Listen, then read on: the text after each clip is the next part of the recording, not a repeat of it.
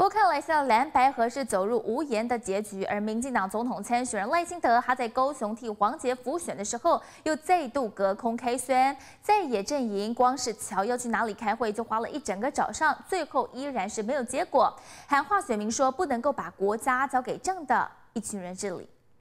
啊，无咱伫遮，大家山明海誓者，你看啦，好无？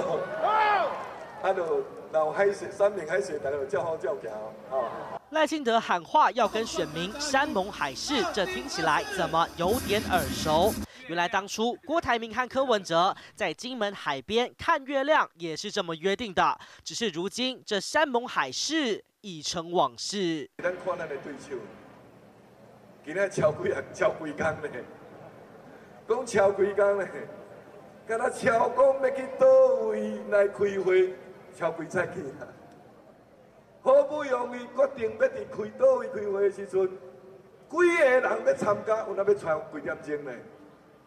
结果吼，敢有结果？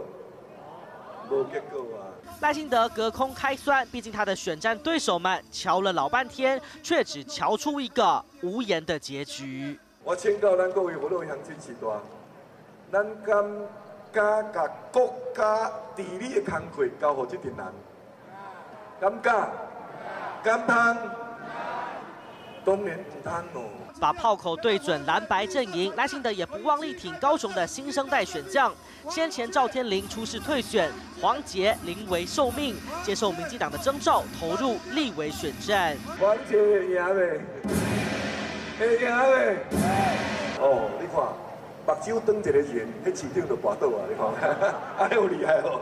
从下午到晚上，赖清德在高雄连跑五场竞选行程，尽管掌握选情优势，依然丝毫不松懈。记者邓明高雄报道。